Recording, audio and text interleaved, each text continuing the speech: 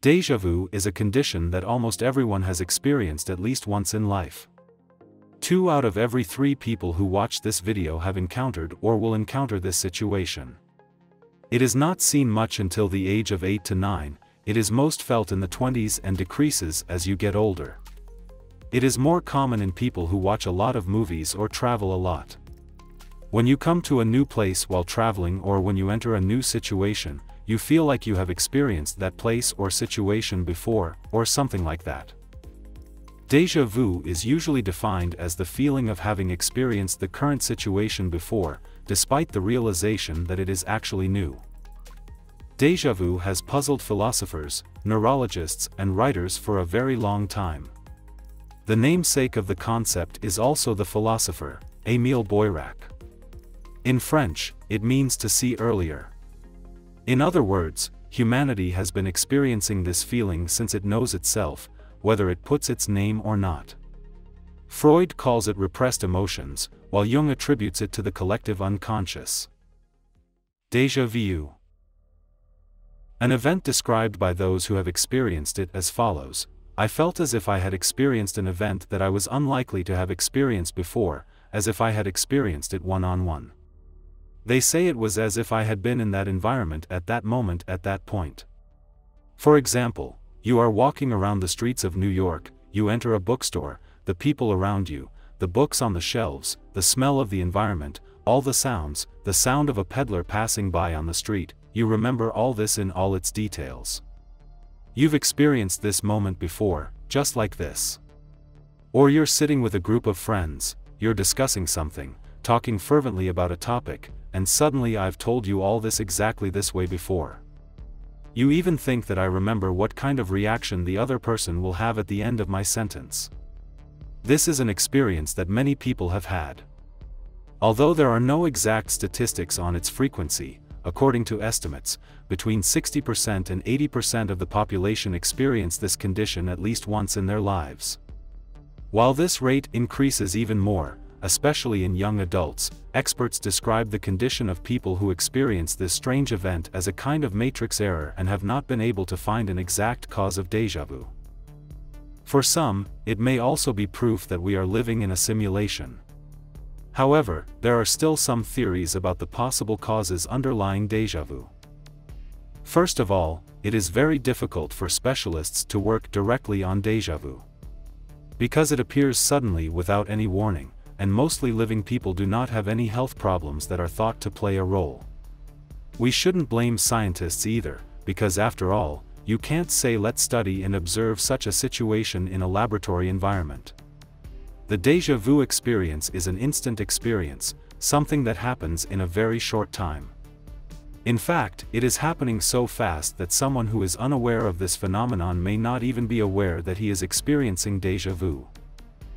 When we turn to theories, we encounter memory as the place where many theories come together. The most accepted of these theories are as follows. First, the theory of split perception. According to this theory, you may have actually seen or experienced something twice. In this case, you can believe that you are experiencing deja vu. And this happens in the following way, when you see or experience something for the first time, you may not have noticed it, you may not have paid enough attention. But your brain may have stored this memory without you realizing it. Because our brain is a very complex and fast-running computer, after all, and it can build a moment by filling in the gaps even from a glance or an experience that lasts less than a second. So he may have created a lot more information than you realize. In short, you've actually experienced that incident before. But because you didn't pay enough attention the first time, or because you were busy with something else at that moment, you may feel like you have experienced deja vu, because your brain remembers this experience without you realizing it. But if you say that this is not possible, there is no possibility that I have experienced this before, another theory comes up. A theory that we can also call short circuits or small defects in the brain. Even if it's not in the matrix here, even if it's not in the matrix, a slight malfunction in the circuits in our brain that work with electrical signals can give you this feeling. We are talking here about a defect similar to that of those who experience epilepsy attacks. From the point of view of deja vu, at that moment, the mechanism of your brain that follows that moment and the part that brings memories may be working at the same time. In other words, he may be processing the event that happened at that moment as if it were a memory that had happened before. Although this condition may seem like a disorder in the brain, there is nothing to worry about as long as it is not experienced constantly and regularly. According to another theory about the processes in the brain, when our brain processes new information, it normally records the information first in short-term memory, and then in long-term memory after sufficient reinforcement. But sometimes a kind of short path may be open from short-term memory to long-term memory, directly reaching long-term memory.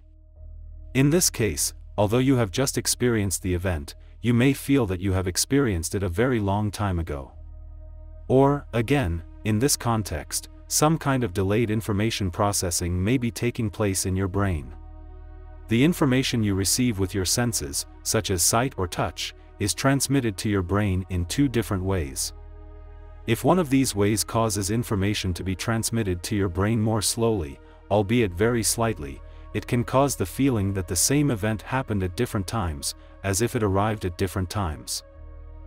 Nevertheless, one of the most logical theories, as we said at the beginning, points out that you are experiencing that moment in a similar way, although not exactly in that way.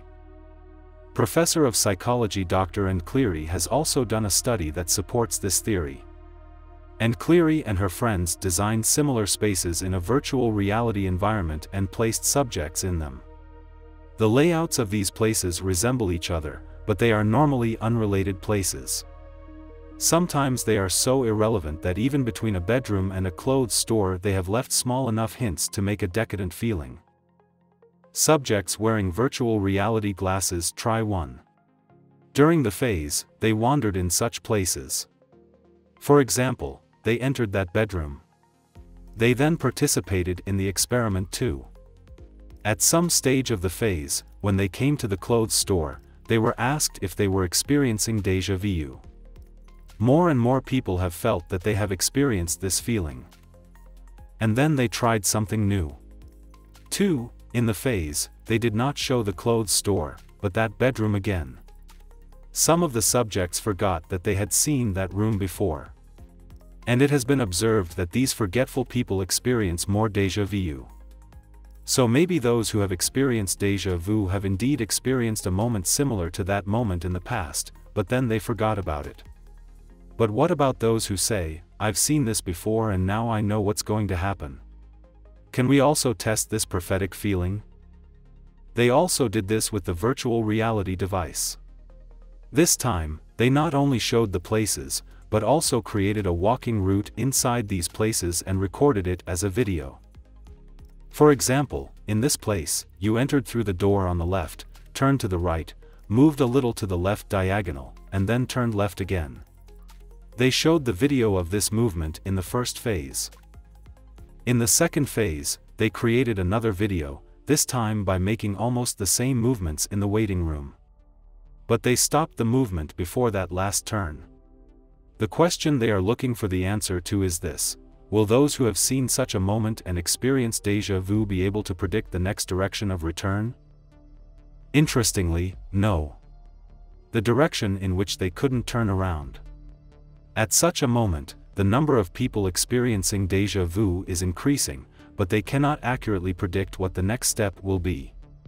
But they feel they can guess. Scientists have called it the deja vu illusion. These experiments show that we can study even things that once seemed inexplicable and impossible to reproduce in the laboratory. Of course, there are also those who try to explain such experiences in a mystical way.